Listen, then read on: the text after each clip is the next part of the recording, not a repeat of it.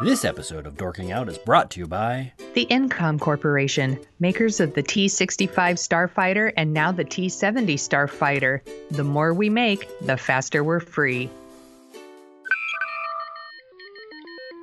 Houston, flight is go. Mila, now let's go. SPM. SPM. Safety contact. From Assignment X, Amalgamated Storytelling, and TheSoniaShow.com, it's The Dorking Out Show with Christopher Allen Smith and Sonia Mansfield. Welcome to episode 64 of Dorking Out, a podcast for people who like to dork out about stories and the stories and culture that we love. That means movies and TV, books and podcasts, and everywhere else we find stories that interest us. This is the It Is Stephen King, Is It? edition. Uh, with me today, it is professional writer and author of The Sonia Show, a detailed love letter to the World War II era Japanese Mitsubishi Ki 51 bomber. Google it. I don't know any of those Sonia words. Mansfield. Hey, Sonia. there. You really like that bomber. I sure do. You With me today blog. is my co host, Emmy Award winning filmmaker and compulsive liar, Christopher Allen Smith. One of those In things is true. In this week's episode, we review Stephen King's It, which scared up $117 million at the box office. I think that makes it like the second. Hot, was it the second highest grossing R rated movie of all time? I believe it's number one. Deadpool? I think it might be number one, but I could All be right. wrong because I didn't read any of the preparatory material. Because you don't read stuff. Anyway, Right. neither of us have read the book.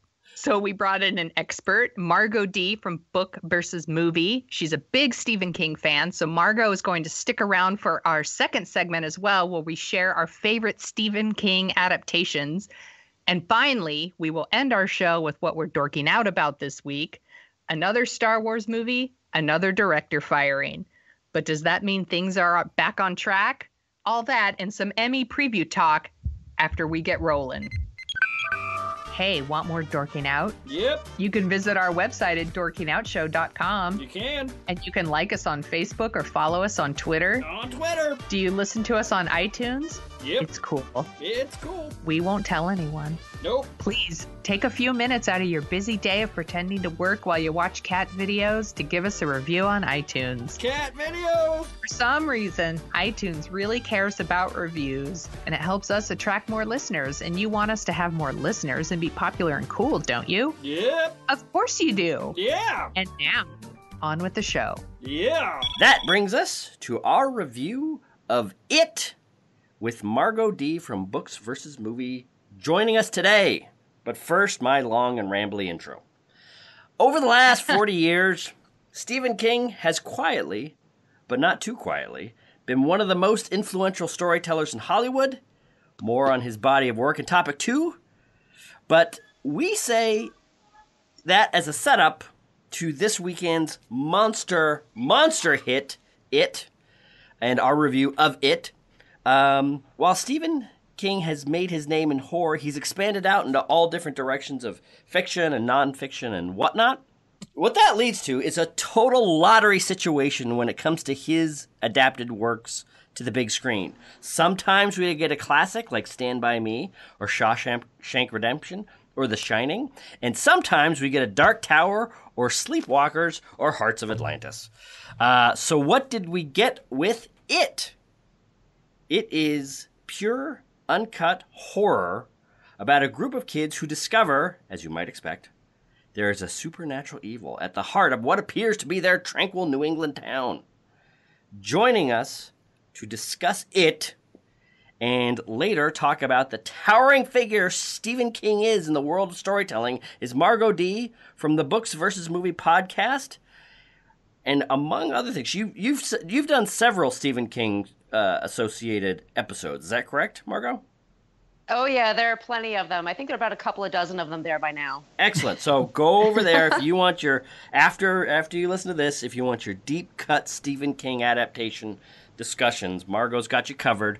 But what I want to start this out with, because I like to derail things right out of the gate, Yeah, good job, Smith. is you have been doing a uh, episode by episode review of the TV version of The Mist, which, for my money, Frank Darabont's movie adaptation of The Mist is the most depressing movie I have ever seen.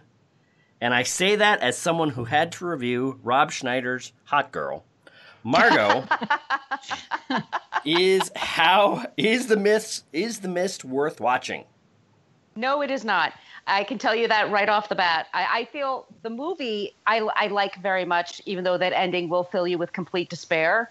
But I think the acting is good. I think that I think it was a strong adaptation. But the the Spike TV series of The Mist was ten episodes of a big nothing. It really it revealed nothing. The acting was all over the place. The writing was all over the place. It was a real disappointment. Uh, my friend Dina of the Twisted Philly podcast and I are both Stephen King freaks. My co host, Margo P., doesn't like the Stephen King, the scary stuff. So I, I brought my friend Dina to do it with me. And after a while, we would talk about the show for maybe 10 minutes and then just come up with our own Stephen King list just to keep ourselves occupied because Oh, we were man. just like, we couldn't deal with it. It was, it was that, it was that bad.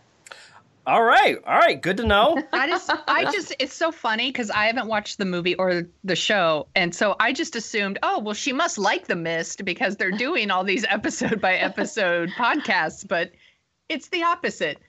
Yeah, Okay, it was the good to opposite. know. Yeah.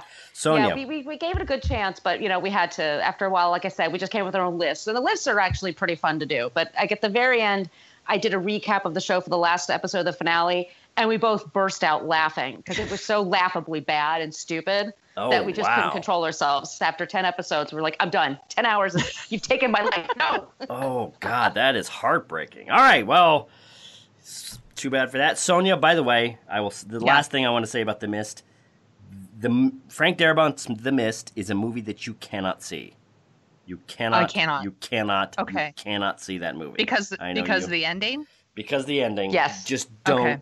Just don't. All right. So, I, but I am a bit of a sensitive flower that way, and we will get into that in this review, I'm sure. that Okay, will, good. that will break hearts of rock hard iron. That is a brutal, brutal ending. But enough about that. Let's talk about another brutalizing movie. It. uh, Margo, what did you think of this movie? So I'm a longtime Stephen King fan. I'm a constant reader, as we call ourselves, or he dubs us. And uh, I, I watched the original 1990 miniseries many times, and I went in there cautiously optimistic.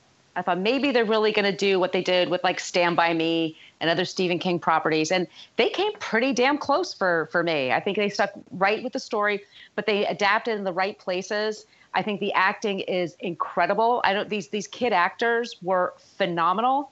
I, I, I worried about them. I, I, was, I loved watching them. I was moved. I watched the movie twice. You guys know this, but the audience doesn't. I watched it twice too. One day, then the next day. And That's uh, dedication. I'm total. De- I'm totally dedicated and crazy. But I loved it. I can't. I can't. I don't know what to tell you. It's. Are they perfect? Is it a perfect movie? No. But it's a great movie, and it's something I think I'm going to watch over the years, and I'm going to pick out things that I really enjoy about it and scenes that I really enjoy, and it's going to be just like a part of my. It's in my top ten. I don't know if it's in my top five Stephen King films, but it's certainly in my top ten. So that's how I feel about it. yeah. No kidding. Well, let, actually, okay, Sonia. Actually, let's let's let's go on to you. What did what did you think of it? So I have not read the book and I haven't seen the TV movie either. And I was very nervous about seeing this movie. Very nervous. Like the previews look really, really scary to me. And I am a sense I can be a bit of a sensitive flower. So I was really nervous. I took my 15 year old niece with me and we went to the Alamo Drafthouse where I had a beer and I think that really helped. And I Sorry. really loved this movie. Oh, I thought it was good. really, really good. Like I like I I thought like, oh, I might have fun or I might really like it or yeah. I was kind of blown away by how much I really, really loved it. Like just really enjoyed it and thought it was really fun. And I've been trying to figure out well, not well, fun in that it was kind of nice to be scared of something that wasn't the news. Yeah. If Yes. that makes sense. no kidding. You know, Yes. so I think the reason I've been feeling so ha- kind of strangely happy since I've seen the movie is I feel like it might have been therapeutic to see the movie and be scared of something else other than real life. I thought the clown is super creepy, obviously. And like Margo said, I thought the kids were really great. And I think even though it came first, I think things like Stranger Things and Mhm. Super 8 have kind of laid the groundwork for a new version of this that I think really works. And I really, really liked it. I more than liked it. I loved it. And my niece thought it was amazing.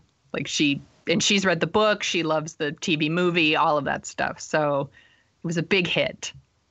Cool. And the, the crowd I saw it with was really into it. Yeah, same here.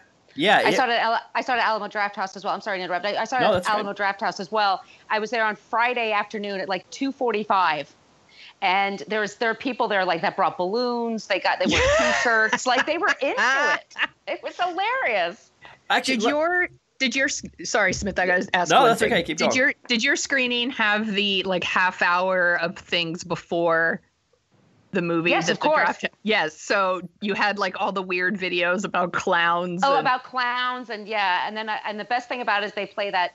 That the, the voice, it's a woman that left a voicemail, and the, at the Alamo Drafthouse, you can't text, you can't use your phone to text or Right. anything, and Oh, they threw her out, and so she left this very vile message on their answering machine and called them, you know, a holes and stuff like Yes. that. So the audience was like clapping right from there, like they were totally in. yeah, I, there was just before our screening, they were showing all these clown videos, and one of them was like a Japanese game show or prank Yes. show. and it was like a woman's like walking through a parking garage, and then they have these like clowns come out and they scare her to the point where like she's on the ground and she's crying and begging for them basically not to murder her. And I was like, this is the worst thing I have ever seen.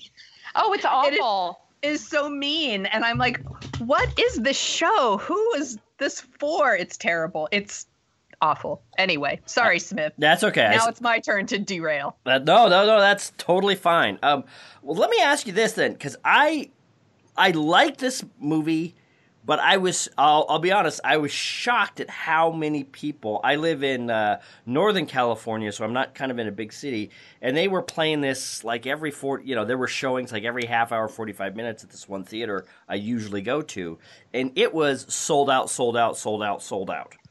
It- Yeah. it- this thing is a monster hit, and I, you know, I've read and liked Stephen King for nearly my entire life. I feel like I have a pretty good finger on the pulse of this kind of genre stuff, but this movie has taken off like a rocket.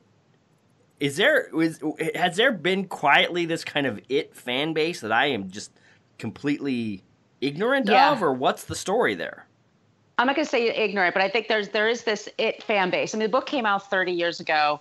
It was a big deal. I was I was in high school, I think, back then, and it, everybody had this book, 1,100 pages. Everybody read it. Everybody got freaked out by it. My own mother read it. It was a thing, and because it is whatever scares you. It's not really about the clown so much. And then all of a sudden, um, they had this TV movie, and it's fine for the time. It's not scary. I mean, I, I, I get really annoyed with people, especially around my age, like, oh my God, that was the scariest thing ever. I'm like, oh, please stop it. Watch it now. It's Right. terrible. It's bad effects. It's the acting is all over the map, but they really sanitized the story. And, you know, we like our scary Stephen King. You know, if Stephen King writes a scary story, do that. If he writes a story that's not scary, but is all, but is um, poignant, do that. You know what I mean? Like take the Yeah. material and do, do what's intended with it. No, and they didn't do that with the TV movie. They made a very sanitized version, like I said. And so for a long 27 years, there's been this thing like people are like, what if they actually made a scary clown? I love Tim Curry as much as anybody, and he's doing the best he can with what he's got to, got to work with, but it ain't much, you know. Right. And and so and also like you know the the, the money that they put into it, and, and it's R rate. That's what got me excited when they said it was a rated R movie. I'm like, ooh, good. They're gonna really rip his arm off. Yes, you know. right. Yeah, because they don't make a lot of studios don't make a lot of hard R horror movies anymore, do they? It's mainly PG thirteen. Yeah, or it's direct Horror. video. Yeah, Yeah. exactly. All right. Yeah, well, so that's this is like a big, big budget horror movie that I just I can't remember the last really big budget horror movie. Well, we're gonna get a lot more now because this thing is. Yeah, this- I think you're right. Yeah, well, it's funny because I, as we were doing prep for the show, I was um, going over some of the news having to do with you know how well it's doing at the box office, and there was a thing in Variety that said, you know, what the Dark Tower could have learned from it, and the first, you know, five things the Dark Tower adaptation could have learned from the It adaptation, and number one is just adapt, just adapt the book. Don't get all clever and Right? reread it. Don't just like don't just make up a You, story. you got Stephen King, just adapt his book. And Yeah. then and then number 2 was lean into the R. If it's R, it's Stephen King. People are Right. expecting crazy horror. Really go at it. And if and if you if you PG-13 the movie, it's going to leach it out and I think I think it's interesting that you're talking about cuz this is this was a very scary, very crazy pretty horrifying movie and I can I looked at the iTunes preview of the Tim Curry version uh, earlier today, and it was like, wow, that's that's early '90s TV. Look at that, and it's just I can't network imagine. TV. Yeah, exactly. Network. network. I can't TV. imagine. Like, of course, it's not going to be that scary. right. So I can't imagine having to wade through two nights of that. But this is You know, it was fri- our fine. It was 1990. There was not Yeah. that much on back then. I mean, that's true. it- that's true. you know, it's the same network that bought Twin Peaks, so I thought that they would be a little more daring with it. But they took a 1,300 page book, or excuse me, 1,100 page book, and they made three hours out of it. And you just Right. can't do that. You miss so much because of that.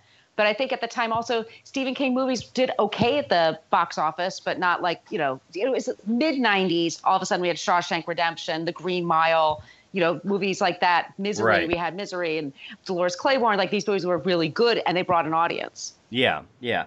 Well, yeah. I mean that that is the thing. As I remember back in the '80s, is you know sometimes you'd get a Dead Zone, and sometimes you'd get a Creepshow two Pet Sematary. or Yeah. Pet Sematary. Yeah. Even Yeah. though let's not let's not let's not necessarily kick around Pet Sematary for reasons that will become clear for Sonia later. Oh, Oh, okay. Um, I do want to. I wanted to mention that uh, our podcasting friend Dana Buckler was supposed to come on and also talk about it with us, and he Yes. just did a really great episode about the original TV movie It on his podcast. How is this movie? yes, Mhm. So everybody should listen to it. And of course, he talks about you as well, Margo. Sounds like you were very instrumental in putting that episode Well- together for him. So, did either of you read the book It? no, I but know I you didn't, Son. I was just did look. I, I I was just looking at my Audible account, and apparently I've purchased it and downloaded it at some point, but I have not oh, wait, actually. you're going to hear uh. Steven Weber read it to you then. That's correct. Um, yeah. yeah. so it's so it's a great book. It's so it, let me just give you some context. In the mid '80s, Stephen King had a raging alcohol and drug problem, alcohol and cocaine specifically, every single day, and cigarettes. Like that's how he just like you know motivated himself every day. And he sometimes he though he directed Maximum Overdrive, which is another like crazy Right. bat nutty movie that doesn't make sense. That's Around okay. these time, he's directing that. So he he's you know as he's making Maximum Overdrive, he's also finishing it. And it, the last third of the book, especially the, when they're you know vanquishing with the demons, uh, it gets really insane. And there's particularly a scene that's very controversial that, um, and they've been mentioning this in different articles, but that Bev, the one girl of the group of the Losers Club, basically has sex with all the boys, and Holy that's how they vanquished the spider. That's very true. I heard that on the show, and I was like, "What the Yeah, f?" and that's and that's something. So uh, of course they didn't do that the ABC version. And then when this they when it became a movie and we realized it was going to be a hard R, Stephen King fans are like, uh, well, what does that mean exactly? But they said absolutely not. We're not going to include that. So if you haven't seen the movie yet, don't worry. that's Yeah. not there. Because that's King probably a deal breaker. I'm Oh, sure it's a deal breaker for some people. Are like, "No thanks." No, thank you. Yeah. Yeah. So it's so anyway. Yeah. So Dana had me on to talk about that. So it's it's in the in the back in the movie. It ends with a big spider, and the slingshots are used, and it's it's very dated because it takes place in the late fifties. So the, so the fact that I love the fact that they moved it to 1989. I just love that that's like a great year to settle it, and the kids are a little more mature. I like that they talk like kids. You know, they're foul mouthed and moody and impatient and Mhm. they yell at each other. Like that's how kids talk. Yeah. And I It is just how they talk. it is how they talk. And I just I bet your is it your niece that you took? Yeah, she's 15. I bet she loved it. She did. She she loved this movie and she loved all the kids in the movie. I, I think she really did relate to it. Yeah. I they, they seem like real kids to her. I mean, they are definitely like 80s kids, but she found it really relatable and she was just blown away by the movie. She super loves it. yeah. She No, wants to go see it again. And I'm like, you're not alone because apparently Margo went out. Yes. the next day. No, She'll it's- probably make her mother take her again. It's a, yeah, no, it's it's fantastic, It- it- and maybe I think I might be in the minority. I mean, I did find it scary and kind of creepy, but I thought the parts that I liked the most were kind of just when the kids were hanging out or trying to figure stuff out. Once they Yeah. started, once they started to kind of confront the things that were scaring them. Sometimes it was creepy. Sometimes it was just kind of. It, it almost seemed like. And talk to me about this, Margo. The it almost seemed as though Stephen King was just kind of grabbing and whatever he could think of, whatever weird thing he could think of for this kid or that kid, he would kind of throw it at the wall. I mean, isn't he kind Yes. of fam- isn't he kind of famous for having a premise, starting a book, and then kind of making up it, making it up as he goes along with no he- real end game at in sight? if he ever said to me, like if I ever met the man and he looked me in the eye and says, you know what, I work from an outline, I would laugh my head off. Because I'd be like, oh, BS. Absolutely no way. No way. He but he even says that he just he gets a germ of an idea and he wakes up every day. By the way, the man writes every a, a drug addict, alcoholic, whatever. He writes every single day. He's been off drugs, by the way, since like 1990, but he's still very productive. But that's just how he rolls. He doesn't have. He's not like uh, a J.K. Rowling who had all of Harry Potter planned out, you know, years in advance. Like he's the opposite of that. He Right. has an idea and he just rolls with it, and he has just a crazy imagination. And thank God for that. I think it's it's he's a fun read. You know, you don't know what you're going to get. He is, and I think that's the thing that, for my money, makes him so special, and that I really like about him is that my experience with a lot of his books is I like the first two thirds of them, and then the Mhm, last third they kind of kind of spin out of control, or he for some reason that f- brings it home in the last third, and when he does that. The experience of reading him when it's great from start to finish and he la- sticks the landing there's few things in pop culture storytelling that I enjoy more. Um, I which, agree. Which I, I, which is kind of like I liked this, and there were moments that were kind of creepy and scary. But I think for me, Stephen King's creepiest villains are never the supernatural ones; they're always the humans. oh yeah, the Um, bullies. yeah, the bullies or the whatever, and the, a lot of that stuck true. And then the you know the messed up parents and the whatever, and there's a lot of that here. And yeah, I mean, I liked it, but for me, this I, I think I might be with you, Margo, in that this I really liked it, but it didn't enter the top tier of Stephen King ad- adaptations for me, and I I can't quite put my finger on it, but hanging out with those kids, and I, I'm interested, and I'm a little baffled. Not a lot of storytelling deals with kids like this when we all know kids are exactly like this. This is how Right. kids really act. You know, but we almost never see it on screen and you know, we between this and uh Stand by Me or it seems like Stephen King has this perfect knack of hitting that age correctly and really making it great. I have to say, like the I think you know it is obviously scary, and and Skarsgård is a is a fantastic clown. You know, Yes. he's just brilliant. But I have to say, I thought the second scariest person was Henry Bowers, who is this teenage thug that Yes. you know he he cuts into the kid's stomach, and he's terrifying. And I looked him up. He's 17 years old. His name is Nicholas Hamilton. He's Australian. Like he's not even American. That kid just acted like he's this kid from Maine, like this redneck from Maine with his mullet and everything.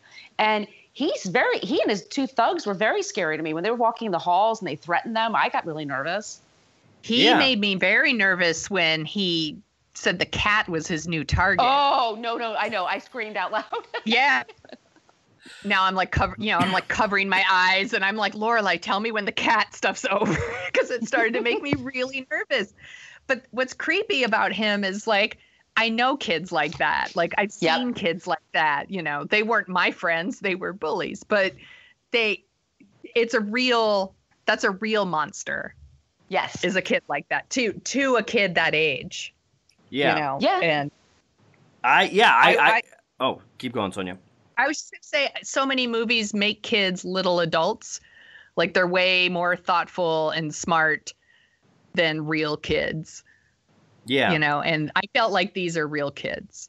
Yeah. Exactly, and that's the that's the, the I think that's the my favorite part of this movie, or that maybe it's just that I just don't get it enough in movies, and I love that kind of learning process where you know the kids are they're not adults yet, they can kind of see adulthood coming at them, but they're there's still a lot of childlike qualities with them, and they're in this really kind of no man's land, melancholy place, and I think you're right. Almost all of pop culture kids are sanitized, happier, sweeter, nicer version of kids. I mean, it's funny. I was as we were thinking about this, and I was thinking about watching these kids try to figure out this mystery. I would kill for a treatment of Harry Potter where the kids were actually acted like kids and were not kind of like idealized students. I mm-hmm. would. So somebody in our listening audience, please rewrite the entire Harry Potter saga Oh, come on. so want- I can you wanna- so I can experience so that. funny. You want a grim, dark Harry, like more grim, more dark Harry Potter, kind of like they And did dumber? Batman. Not, And not a more not a more grim and dark, but just kind of like you know, ha- you know, Malfoy does something more than just kind of scowl at him across the This isn't your. It's not your mama's Harry Potter. so, um, I guess we're all pretty high on uh, it. Yeah. Yeah. You know, I I saw some tweets going around where people were talking about that it's not really a horror movie, that it's just this crazy drama that happens to have a creepy clown. Oh, whatever. I know. And I think it's like, it's just another example of the, well, if something's really good, then it can't be a horror movie. Which I Right. think Oh, is just BS, yes. you know? And I'm like, That's no, snobbery. this is a full on horror movie. A kid's arm gets ripped off. Yeah, this is in a the horror first scene. That's right. Blood comes gushing out of a bath. eh, You know, a bath. Ow! Ow! Wow, that is some weird gatekeeping right there. I know. So, um, is so all right. So, Margo, on a scale of one to ten, Sonia loves this question, so I'm gonna let her hate think this about question. it. You love it. On a scale of one to ten, ten being The Shining, I guess maybe. What would you What would you give it? Eight or nine. All right. Okay. Sonia Mansfield. I am the same. All right. Eight or- cool. Yeah. I'm I gonna, really liked it. I'm gonna definitely see it again. I'm going to see it again, too. Excellent. I'm gonna I'm gonna give it a 30 seven, third seven or the an eight. charm. I'm gonna see no because there's a scene that I didn't catch that's either time, and it's when the boy's in the library and he's flipping through the book. Ben is flipping through the book, and Right. apparently there's a creepy lady in the corner over his shoulder the whole time he's flipping, and I've missed that, and I've seen a picture of it. Now I need to see it again. Oh. So, yes, you will see me at Alamo see. Draft House again. I'll wait like a week or two, but I'm definitely gonna see it again. All right. Let's go on then. Now that we've kind of talked through this one Stephen King story, let's go to the wider world of Stephen King adaptations up next. This segment is brought to you by Paranoia. Do you want to be worried but everything is going just fine? Then you need Paranoia! Or do you? While Stephen King has been the undisputed king of the bestseller list since the 1970s, the era which saw Brian De Palma make King's first book, Carrie, into a horror classic, a veritable trainload of movies have been based on King's stories, not all of them screaming Stephen King horror master. Among these good movies and classics are Stand By Me, Apt Pupil, Shawshank Redemption, The Green Mile, Misery, even the much derided Arnold Schwarzenegger's camp action flick The Running Man. Added to these are undisputed horror classics like The Shining, Dead Zone, as well as a huge number of middling horror movies like Firestarter, The Mist, Cujo, Needful Things, Children of the Corn, Hearts of Atlantis, and the recent adaptation to television or the internet, Hulu. What's Hulu? Is it TV, internet? I don't know. Point is 11 22 63. That is a lot And of stuff. That's a lot of stuff. And while we love a lot of these stories, we thought it would be good to have Margo stick around and we'll try to tackle the big task of naming our favorite Stephen King adaptations. It's a big task because he's written, I think we, I figured it out to be about 90 books, including his like novellas and all that. And his work has been adapted more than 60 times, but maybe three or four of those are different adaptations of Carrie. That's an insane amount of stories. I don't want to waste too much time talking about how crazy it is that Stephen King has written so many books while I'm still struggling to write one You're not alone. because that because that's a segment for another time. Let's just dive right in and talk about our favorites. Uh, I'm going to let our guest go first. Margo, what is one of your favorite Stephen King adaptations? One of my all-time favorites is The Dead Zone, and I love the movie and especially what's going on in the world right now and the person in charge right now. I like the subplot of The Dead Zone very much right now, but I also really love the TV series too. I thought that was really interesting. The first couple of seasons, anyway. So That's my first one. That's a really good one. I love Christopher Walken. Oh, he's great. that could have very easily have been on this list. Uh, I could have also very easily put the movie we just reviewed on our list, it, Mhm. but I'm not going to put it on my list. Um, and I, I really did try to go a little deeper with my picks, but I can't make a list like that this and not put The Shining on my list. So The Shining is on my list. It is one of my favorite horror movies. It scares the crap out of me every time I see it. And I think because the reason it scares me so much, and Smith, you kind of touched on this in topic one, was the idea of the human monster. Kind of the idea that like your husband would turn into something crazy like that and try to kill you is very scary to me. Well, having met Sonia's husband, th- this is an appropriate fear. I mean, it really, oh my I'm- God, he's like I'm- the nicest man on the planet. That's right. I'm in. The, I'm in the minority that th- thinking that he is a potential murderer, but there it is. uh, no, that's great. I, you know, I think that's the thing is I really like that whole thread, but then there's the whole kind of psychic thread in that movie that Right. in the in the weird hotel. It's kind of like going in a million different directions at once, and it does feel weird for me to not exactly be criticizing a Stanley Kubrick movie, but just I, I that that I like that movie, but it's never hit me Yeah. the way you know what? that I usually it- get hit. I think it it also has to do I mean it still scares me when I watch it now, but I remember seeing a preview for The Shining in front of Star Trek the original motion picture. Oh, my dad yeah. my Oh, dad wow. took me to see it and it's just the preview where like the elevator opens ding and like all the blood rushes out. That scared the crap out of me as a kid. Why? Just- Why? what are you it's kidding just- me? So so disturbing and i think it just always stuck with me that that feeling and so maybe it's a bit of a nostalgic pick Yeah, no, I, I definitely get that.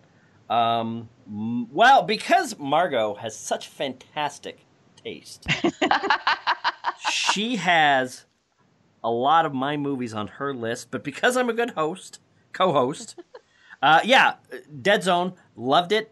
Um, I I like it that it's uh, not Christopher Walken being crazy Christopher Walken. He's kind Oh of no. down and subdued and and the, the realization that oh i see this thing i know what this guy's going to be and he's kind of in this awful situation where do i have to be what appears to the outside world this lone crazed assassin and only Right. only i will know if i have saved the world or not and i will be destroying my reputation and breaking the hearts of everyone i love if i do this but it's just it's a fantastically that's the thing about stephen king that i love the, the most is he's got these fantastic human characters and then when he brings in the creepiness it just that's why i think he hits people like a ton of bricks. I mean there's a reason he's is he is correct me if i'm wrong he's he's like the biggest horror author or, or probably the biggest fictional author of the last 40 years am i right in those numbers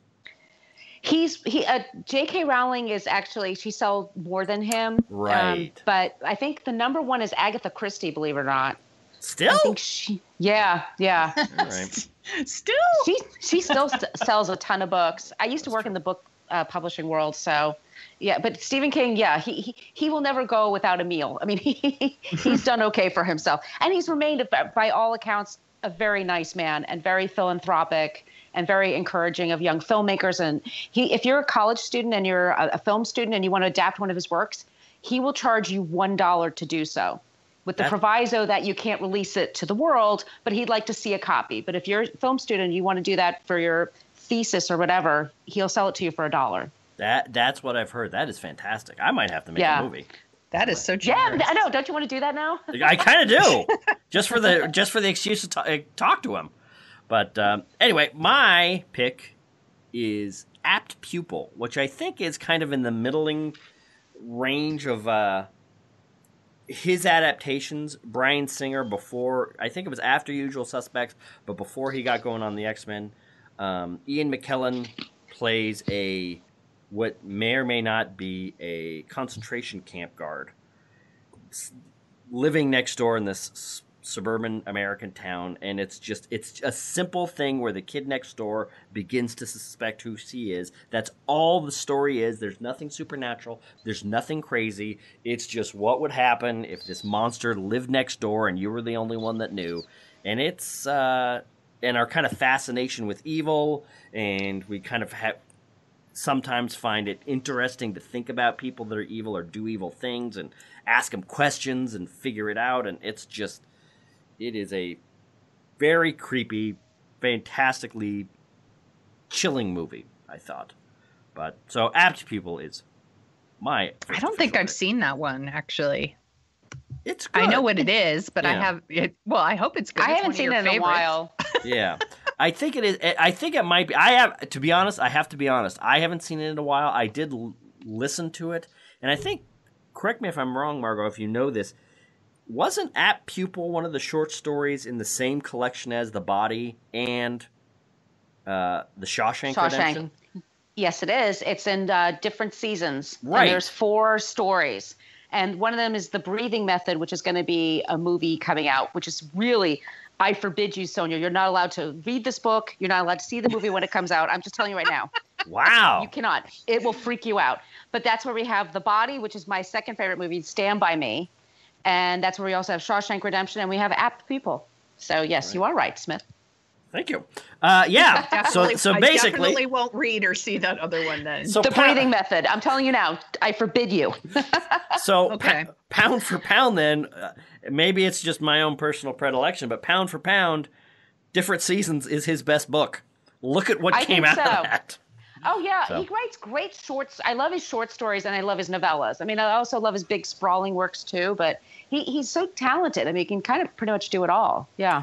Gosh, you know what? Maybe that's it. Maybe when he writes a novella, it's like he's got to be concise, he's got to be Yeah. tight, and his you know uh, drawbacks or his bad habits or something don't really have time to break out of the cage and sprawl all over the book. Maybe that's what it is. Maybe that's why. All right. Anyway, sorry, I'm off on a tangent. Uh, Margo, what, what is your what is your next what is your next one? So it's Stand by Me. Um, I believe it came out in 1986, if I'm correct. I just Yep. it's another case. It's just it's a story about kids, and they're lost, lonely kids. They're all kind of misfits, and they go at this adventure together. And it's a wacky premise. I mean, they heard there's a dead body, a kid that was hit by a train, and they hear that it's out there, and they just have to see it because they're kids and they're it's summer, they're bored. You know, they have all this time to do things and explore things. So they go out on this overnight journey and they become different people by the end of it. And you just you you I, I Corey Feldman, you know, for all of his mm. wackiness as an adult, he's brilliant in this movie. There is Yeah. nobody else who could play that part like him. He's he was a great young actor. And Wil Wheaton is there. River Phoenix, oh, you know, he's Yeah. just Oh, heartbreaking. So, it's so heartbreaking. You know, he's he died just a few years later, and um, Jerry, I'm sorry, Jerry uh, O'Connell is Yeah. in there. It's one of Rob Reiner's best movies, if not his best film. I think it's just it, it's just it's a perfect film. There's no scene I would take away from it. It's the, it's just it ends beautifully. Richard Dreyfuss does the voiceover, and normally I hate voiceovers, but he's great in that part. Um, I just love it. I just I, every time I watch it, it just takes over. I just it just seeps into my pores. You know what I mean? Yeah. I just I just love it. Is Kiefer That's my- Sutherland one of the villains? Yeah. He is. Yeah. Ace, Ace, He's the he's the mean It's guy. such a good movie. great movie. You know, it- That's it's an fun. awesome pick. It's funny because when you when you talk about Corey Feldman, Sonia and I have talked about this uh, kind of uh, ta- when we talk about the Oscars, like ways to improve the Oscars and where they really uh, honor artistic achievement and everything. Because sometimes it it is has this. Uh, popularity contest aspect in it when you're only narrowing it to one year, which is fine. I mean, that's the way award shows are. But you know, one of the discussions that we've had from time to time is kind of like like the ten year Oscar, where you look back and kind of Yeah. like what what stood the test of time that we missed.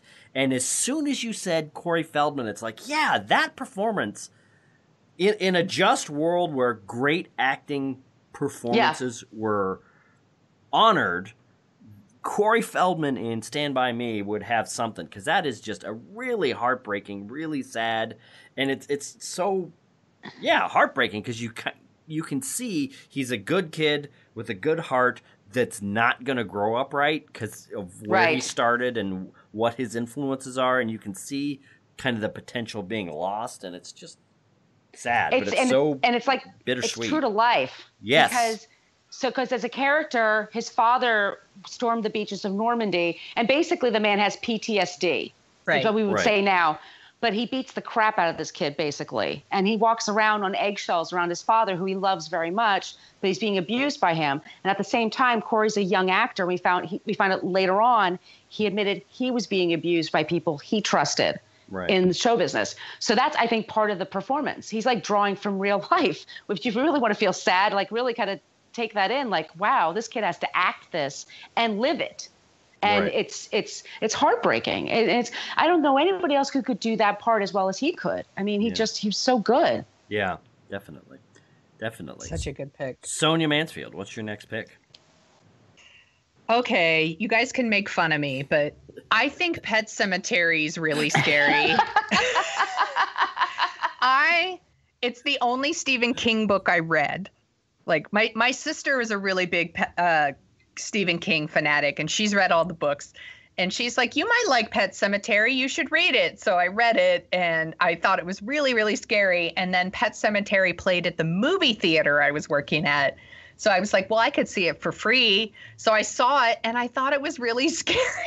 It's scary. Now, to be fair, I haven't watched it recently because I know that the little boy getting killed would make me cry for a week. Yeah. But I was really scared in this movie. I thought it was really uh, there's some stuff in it that's pretty gross, if I remember correctly, where they cut his like whose whose tendon is it? oh, oh, oh, th- was it the father? No, no, no. It was Fred Gwynne. I think it's Yeah, Fred Gwynne. plays it. ah, yeah. so gross, ah, so gross. Like, I just this movie really, really scared me, and I had to put it on my list. So And the it- and Ramones do the because it- song. I'm sorry. Yeah, that's right. The Ramones do the song, and it was played over the credits, so I cleaned many a theater to that song. I don't want to get buried in a pet, Pet Sematary. Wow. I have to admit, I've never seen that movie. What? I've never seen Pet I, Sematary. I totally acknowledge that it might be quite stupid, but for whatever reason, Pet Sematary really scared me when I saw it. Cool, cool, cool, cool. Um, next, to keep things moving along, I'm going to go with my next one 11 22 63, which is. I can't believe this book hasn't been written before he wrote it. This is one of those Right. books that as soon as I heard he was writing it, I was so excited to uh, hear about it or to, to read it and then watch the James Franco miniseries on Hulu, which is it's a very simple premise. Any anybody who's daydreamed about time travel has probably thought about this, which is what if you could go back in time and stop the assassination of JFK? What would that be like? And it's just so well th- for me this has everything that a stephen king story has both good and bad, which is a fantastic premise, fantastic characters, r- really deeply thought out and nuanced kind of thing. Um, nuanced uh, examination of the characters and the problems that they have and how somebody would really try to live through this situation. But then there's also this strange thing, and this was more the book's fault than the miniseries, which is somehow time is fighting back against him like it's this spectral whatever. And so when he there so there's when he changes time, there's these weird earthquakes and stuff. So it's kind of like, wait a minute, how does stopping a president from getting killed start earthquakes that destroy the world 30 years later? I don't I don't know exactly how that works. So I would say this is eight tenths of a fantastic story. And if you could just kind of skip over the last part, um, that's fine. But uh, Margo, you were mentioning something about this earlier, weren't you? Yeah, it's it's one of my favorite adaptations as well, and I I felt the same way you did. I mean, because I'm kind of a history geek, and when I found out this was the premise for his book, I'm like, why didn't somebody think of this sooner? Because yeah, it, and it and then you're getting the Stephen King version of that, so it's going to be great and creepy. And I I loved this series very very much on Hulu, and I think it's like James Franco's some of his best work is there, and it's got a great cast, and it, it's very scary in some spots, and it's I loved it. Yeah, it's fantastic. Now there might be another movie that I would mention, but Margo is going to mention it here, which might be the greatest movie on any of these lists. it, it's got to be Shawshank Redemption. And I know it's like the easy thing to say, you know, because everyone says that one, but it holds up. I watched it recently uh, for another podcast and I, just from beginning to end, the uncut version, all of it. And it's a long movie. It's a big journey. It's a long journey that you're on, but it's so well cast. I think that Morgan Freeman is like the anchor of that film. I think him is Red. I think him, he and Tim Robbins have great chemistry.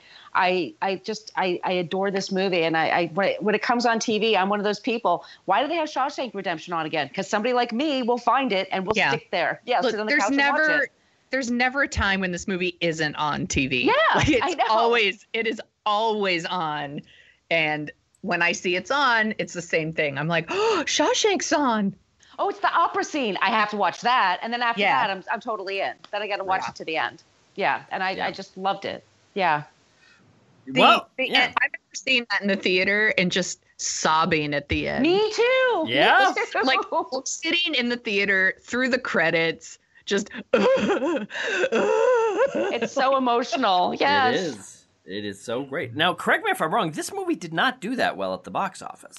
Is that right? no, no, and it's funny. It came out the same year as Dolores Claiborne. I don't know if that did that well either, but it was one of those slow burners kind of thing. Like it just sort of caught on. I think when it, at this is at the time. I think when it came out on VHS, hmm and that that's when it kind of caught on. I think for some reason they made it a summer release, if memory serves. I think you're Memory right. is a funny thing. Yeah. I- so I think it like came out on VHS. Then people started watching it, and then all of a sudden, like, oh my god, this is brilliant. Yeah, it's a fantastic. Yeah, I remember. I was like you guys, lucky enough to actually see it in the theater, and oh my god, gosh, you know what? Now that I think about it, Fathom Event should put that one back out. I would love to see that on the big screen again.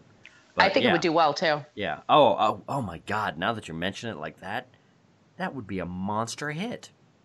Yeah. All right. Anyway, sorry, Sonia Mansfield. What's your next one? Yes.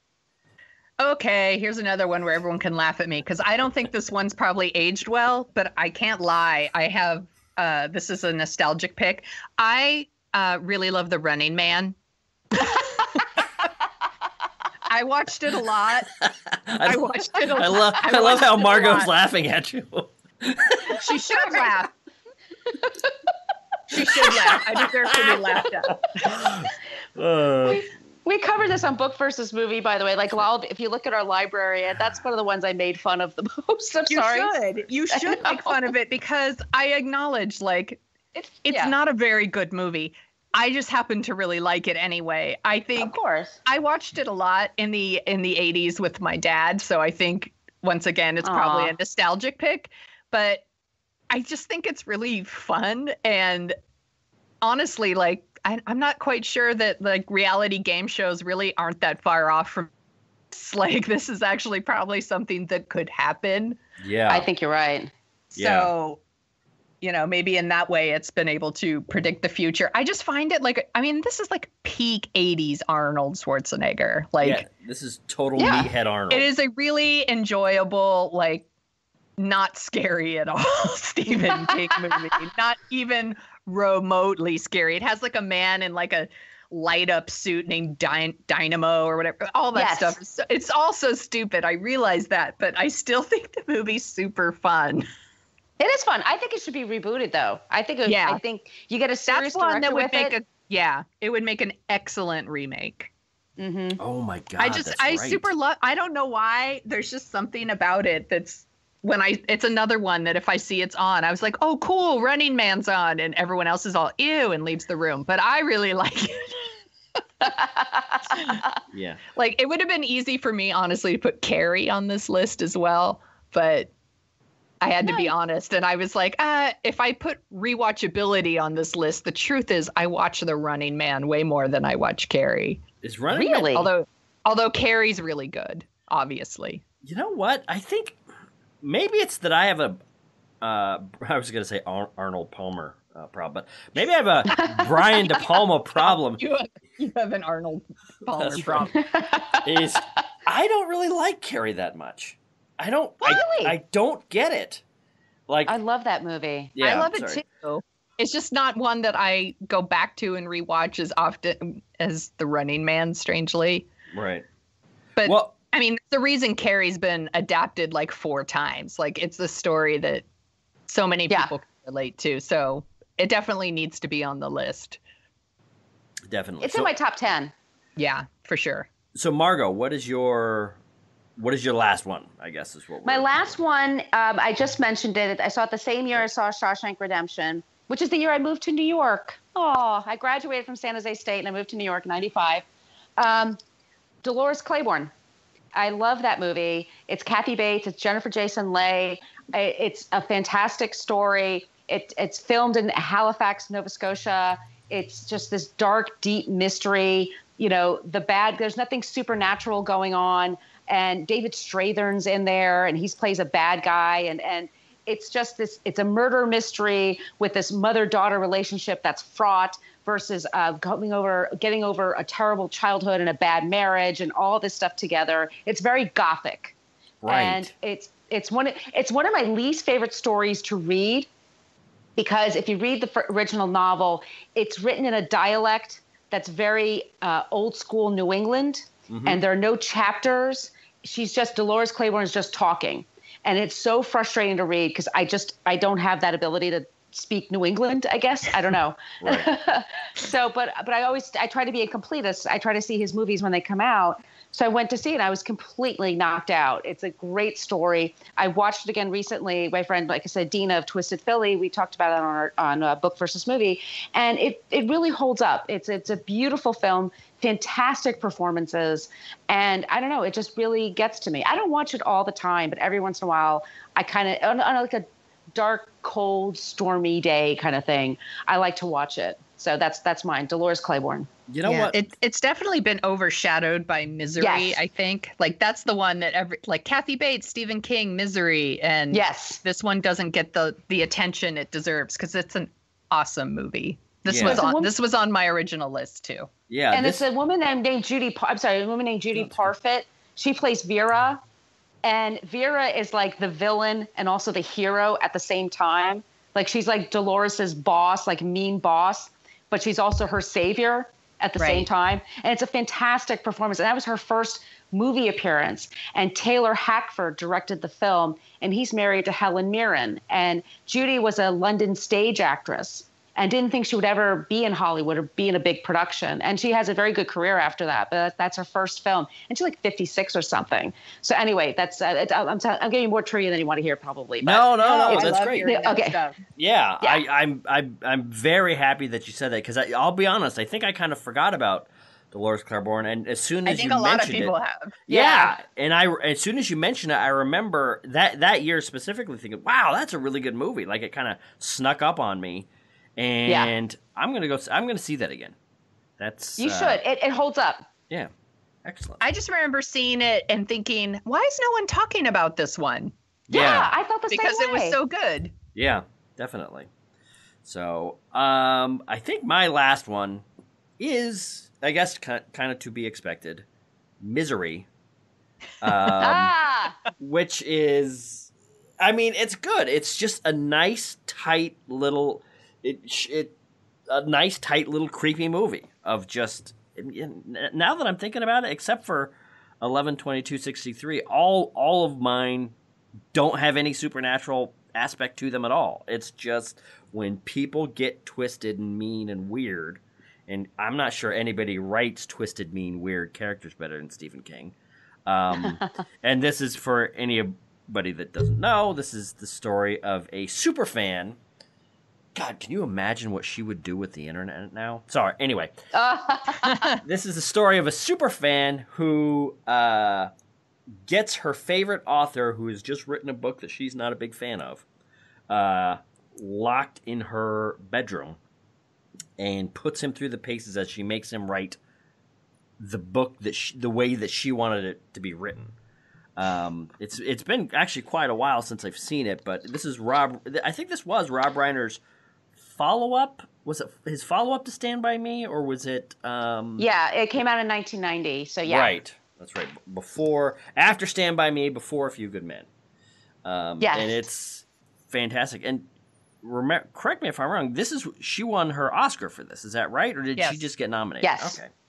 Yes. Excellent. So yeah, you know, she won an Oscar playing a woman who took a bat or took a sledgehammer.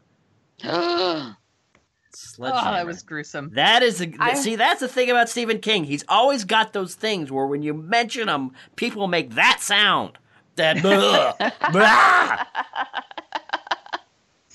because nobody does that thing better than him.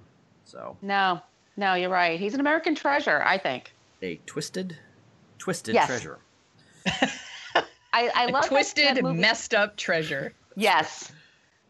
I love that movie because uh, when you first meet Kathy Bates and she brings him into the house, like she has such a sweet face.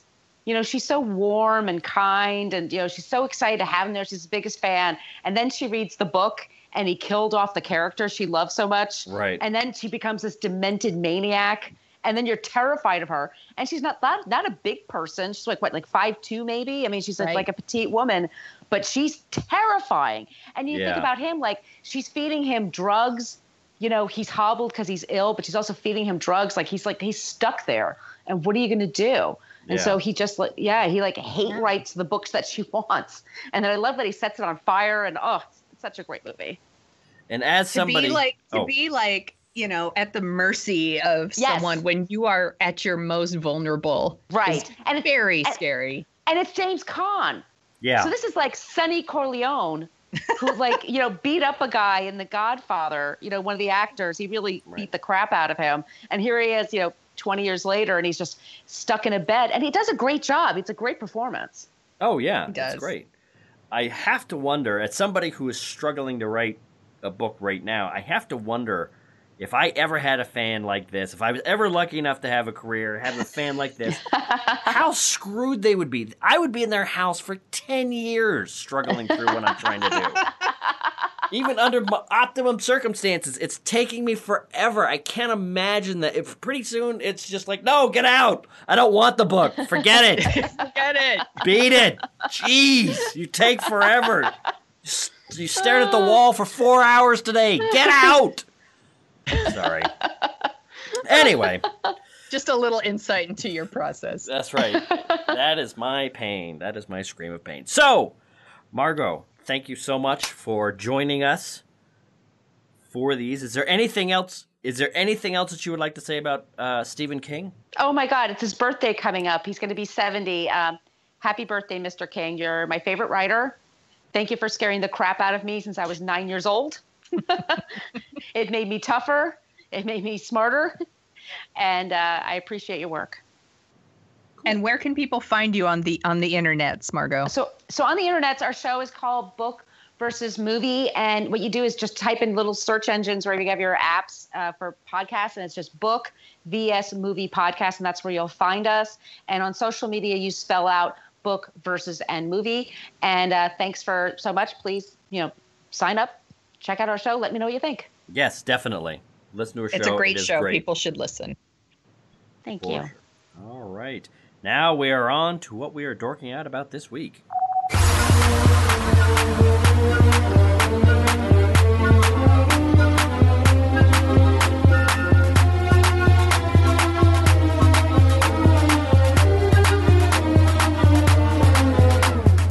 And that brings us to what we're dorking out about this week. This week, I am uh, very excited that the Emmys are coming. So, the Creative Arts Emmy uh, winners were announced on Saturday night. And I know that everyone thinks that that's super lame, but I actually like the Creative Arts Emmy Awards because they. I don't they include a lot of the categories that I really care about. So, like animated program was Bob's Burger and documentary special was the 13th on Netflix. Did you watch that? I have You not, watched that. I've oh my god, watch that. I know, I know, I know. okay. Yeah. And then like documentary series was Planet Earth 2, which I super loved and talked about a ton and are what we're dorking out about. Like this these are like these little like nerdier categories that I super love, but also it includes things like the writing category. So writing for a variety special went to the Samantha Bees, uh, not the White House Correspondents' Dinner. Um, what else? What else do people care about? well, you know, that's what No, none of it. Sonia. None of it. Uh, Adventure Time, one for animated short program. See, I think that's cool. This is the stuff I like. That's you know, it's interesting because this is not because I think people are used to the the Oscars where at a certain point in the night of the Oscars they say, and you know, movies aren't Here's just about. stuff- Yeah, movies aren't just about actors and pretty people. It's also about the people behind the camera and the technical achievements that they've done to make these movies so special. Blah blah blah. And then it's just all the nerds win their Oscars. Right. Uh, and and that what what they do is they don't have that on Oscar night. They have it like a week or two before. Right. It's like you. We're not going to have you nerds mingle with our big stars. We're going to throw you some hot young actress. She'll host it. You guys Right. look at her, and we're going to give you your technical awards at some other time. I just think, I just love the stuff that these are right. shows that we all really enjoy, but they aren't like quote unquote Emmy winners. You Well, know, that- like they're not. It's not like a Breaking Bad or a Mad Men or something. It's like these like Bob's Burgers wins something. You know, or this Yeah. is where somebody wins an Emmy for their voiceover work. Well, yeah, you know, that's things like that. Yeah, exactly. That's the reason I went off on this weird tangent is because this is a mixture of like animated program. Why isn't that in the main story? Documentary. Why isn't that in the main Yeah. in the main show? Like the you know variety Right. special. There's there's stuff here that I think people would be interested in. Right. Um, but for some reason, it's off on this yeah. ancillary thing. So, So there's a couple other ones here. Unstructured reality program is the United States of the I'm sorry, United Shades of America with W. Kamau Bell. That's a good one. right. You know, uh, the documentary Beatles Eight Days a Week won something for sound. I think that's a really great documentary if you haven't seen it. I just watched I- it last week. I need to see that. I've heard it's fantastic. It's on Hulu. It's really great. You know what? That's I think that is the that is a nice thing about these these Emmys is that especially in this day and age when there's just so much stuff out there. I was talking to my sister about it a couple days ago, and it's just impo- She was naming all these things that she's paying attention to and watching, and they all sound great. But it's like I, you know, I think of myself as who consumes more than a normal person's amount of pop culture, and there's just it's you know well we've talked about it a million times. It's impossible to get in to, to Right. talk about how much stuff this is. It's just yeah, all of this stuff. There's a lot of fantastic stuff that I don't think I'm ever going to see, which is fine, I guess. But um, but yeah, Oh, there's there's other stuff too, like Variety Special was car- Carpool Karaoke Primetime Special. That's lame. I can't believe that won something. Structured Reality Program is Shark Tank, and this one actually this is really cool. They do like the Emmy for the host of reality and reality show competition programs on Uh-huh. this one, which I'm kind of surprised they don't do that one in the main show. Uh, and the winner was RuPaul for RuPaul's Drag Race, and Right. that's pretty cool. which uh, Yeah. So so that's what I'm so that's what I'm dorking out about because I'm such a dork. I care about the creative arts Emmys. That's right. No, that's good. That's well, actually, because the other thing is Ezra Edelman for OJ Made in America won for directing a nonfiction program, and I have to wonder, how does that work?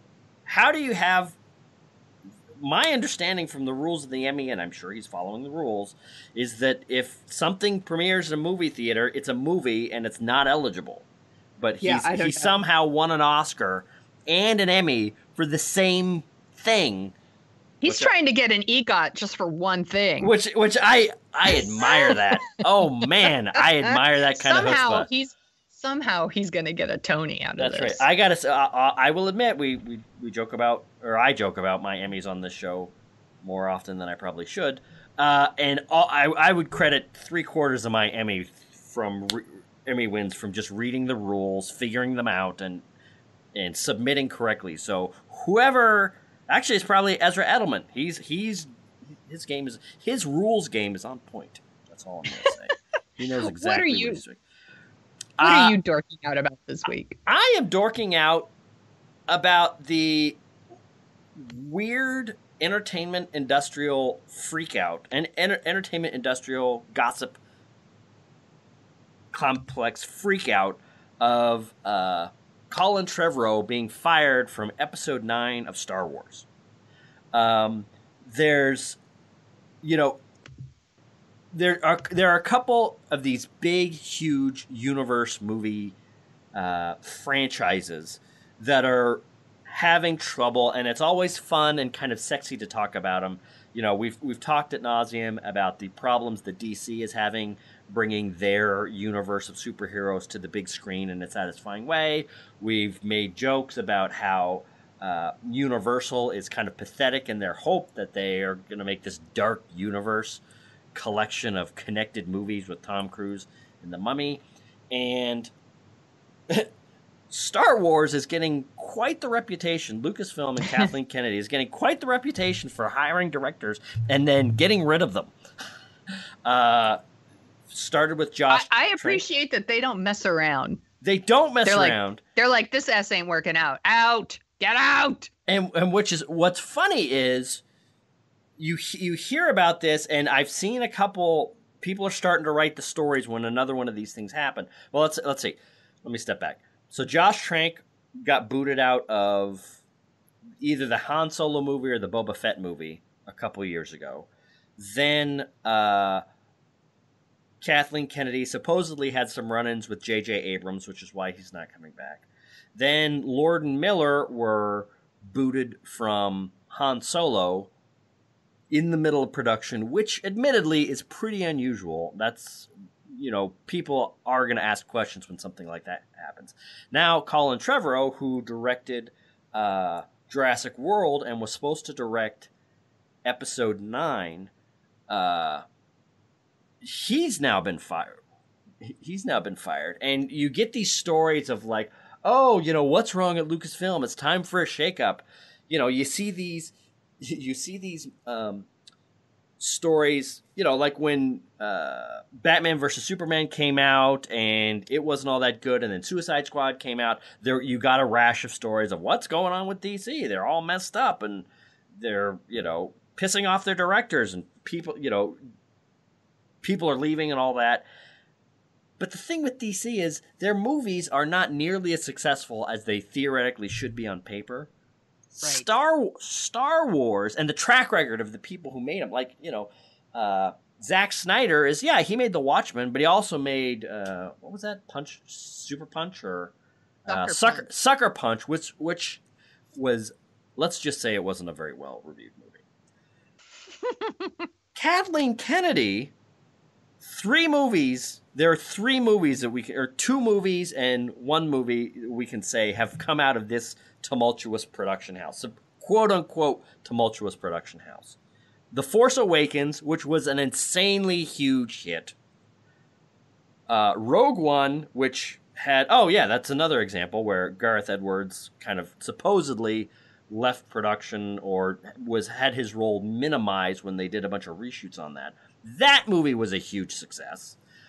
Every word of mouth, every early buzz on Rian Johnson's uh, uh, Last Jedi. Last Jedi is that it's hugely satisfying. Disney would love to have him come back to do episode nine. So you know you get you get these hang, you know one one pot you know uh, arguably talented director like Colin Trevorrow gets fired, and you get all these hand wringing essays. Oh, what are we gonna do? You know, we should uh, get rid of Kathleen Kennedy, or is it time to shake things up at Lucasfilm? But you look on paper, her track record is unassailable. What I like other... that she is being a guardian for the Star Wars movies. Well, I do too. And here's the thing: is you see, let's let's look at this. There's uh, so the Force Awakens comes out, then Rogue One supposedly has this troubled uh, production, but when the movie comes out, it's fantastic. Then let's look at DC. Uh, Batman vs Superman comes out. It's a pretty divisive film. Warner Brothers freaks out. They order a bunch of uh, reshoots on Suicide Squad, and Suicide Squad comes out, and what is it? It's boring. It's hardly watchable. It's awful.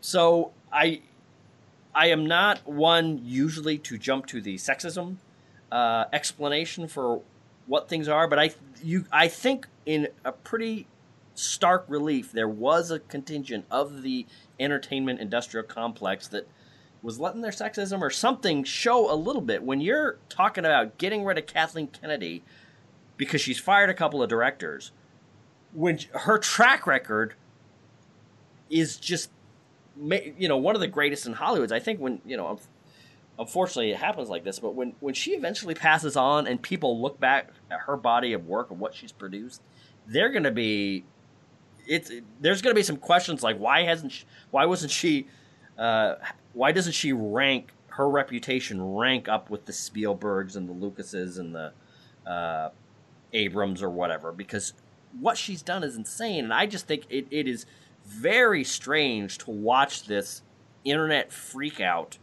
You know, I guess we've. Talked. I think about- it is. I think it is sexism because I think if this was a reversed thing, if there was a man doing all this, people would be like, "That's so awesome that he's making sure that Star Wars is going to be great and he wants to keep the integrity of the franchise and." you Well- know blah blah blah and why doesn't someone do that for dc and all the you know i Right. i really think that and i think that because it's a woman doing it i do think that there's kind of this you know maybe she should be quiet and let the men make their movies. Maybe. There there is that, and and I don't want to make it because some of what I'm saying, some of the defense of uh, Kathleen Kennedy, it's it, the the condemnation or the second guessing is not uniform around the internet. There are a lot of Kathleen Kennedy defenders out there, and also there were there were these discussions and actually there still are these continuing discussions with DC of like what the hell are they doing over there? They keep announcing all these movies firing all these guys and directors are walking away and but the thing is and D, the reason I'm bringing up DC is when you look at the track record of the finished movies that have gotten out into theaters Star Wars is fantastic. People are loving it like crazy. DC is blah dour whatever underperforming like crazy. I mean I think I think uh, the Force Awakens made two and a half times as much money as Batman versus Superman. So Mhm. in uh, you know, we talk about creativity a lot on this program. We talk about the meaning of creativity a lot in this business, but that's not kind of what keeps people employed. The reason Michael Bay keeps making movie after movie after movie is because the bottom line is he is making crazy amounts of money for the movie he's making. Her her bottom line measured against everyone else, you know, I, I think she's she's gonna be fine. I, I I think it is there is a ridiculous contingent of the internet that are kind of writing these think pieces about her management of Star Wars. And you know, people forget back in the early days of Marvel, they were losing directors and changing directors and Mhm. there was there was you know Jon Jonathan Favreau was supposed to be directing the Avengers and he got he either left or was asked to leave after Iron Man two. Um, Edgar Wright he was developed Ant Man for ten years didn't end up making it because he left. Uh, Patty Jenkins was supposed to direct uh, Thor, the second Thor movie. She left because you know, and and there were some discussions about uh, what Ke- Kevin Feige's doing with the directors over there. But you know, things kind of worked out, and I I I think the only thing that I might falter, the only question that I have when it comes to Kathleen Kennedy is why do they keep announcing these directors so early that they then come to these creative differences? It's it's Right. Uh, you know that that that I do wonder about. Why are they announcing these people and then pulling them back or having them get deep into production and then realizing they're on the wrong the wrong track? That might that might be an interesting. Well, it definitely is an interesting question of what the dynamic is there. But the idea that somehow she's mismanaging Star Wars is insane. Uh, but yeah. Anyway, so that's that's what I'm dorking out about. It's kind of the what what the internet is mad about this week, even though it's a small contingent. But I just Right. I, I don't I don't get it. Anyway, so that's a long rambly way of saying. Here's hoping Rian Johnson directs the uh, Star Wars Episode Nine, and be back too here in funny. December. Be back here in December when I crap all over the Last Jedi, and I would be very, very surprised. if And that I. I would be too, but it's like I don't want to go too far out on the limb because it's funny the way people talk about Rian Johnson with this movie and how it's going to be such a big hit, and people are already saying it's going to be this third monster hit for Lucasfilm. But you know, none of us have seen it. They ha- they haven't even put out a second trailer yet.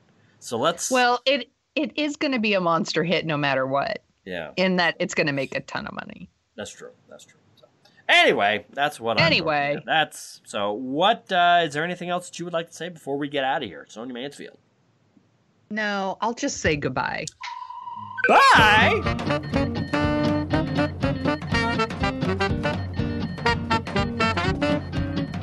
The Dorking Out Show is on Twitter at Dorking Out Show, where you can find Chris at Jet Jurgens and Sonia at The Sonia Show.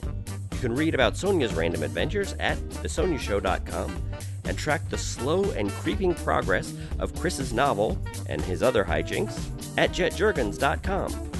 You can find out more about The Dorking Out Show at dorkingoutshow.com. While you're over there, you can support us by giving us a review on iTunes. We have a handy dandy iTunes link to whisk you right back to 2007, where you can leave your review and five star rating in iTunes. We'd do it for your podcast. Want to dork out even more? Well, you can sign up for our newsletter, where you'll get all the headlines we use as fuel for the show. That's it for this week. Thanks for listening.